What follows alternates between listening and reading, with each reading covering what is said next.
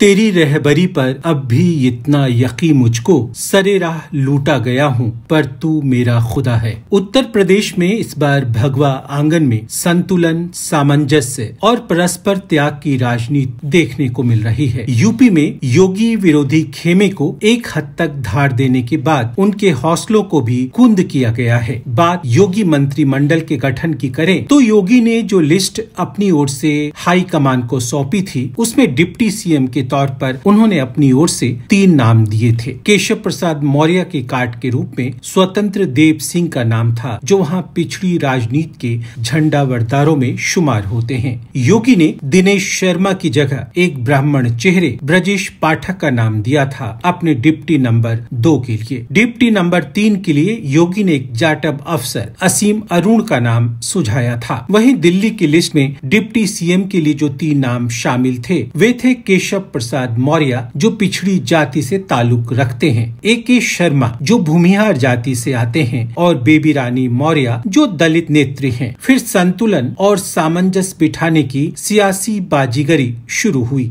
कहते हैं जब योगी केशव प्रसाद मौर्य के लिए कतई तैयार नहीं हो रहे थे तो उन्हें समझाया गया कि भाजपा ने 2017 का चुनाव भी मौर्य के चेहरे पर लड़ा था। तब वे भाजपा के प्रदेश अध्यक्ष थे। इस बार भी पिछड़े वोट थोक भाव में मौर्य की वजह से ही भाजपा को मिले हैं। फिर समझौता का प्रारूप तय हुआ और दोनों पक्षों में सहमति बनी कि एक उप मुख्यमंत्री योगी के लिस्ट से होगा और दूसरा दिल्ली की लिस्ट से।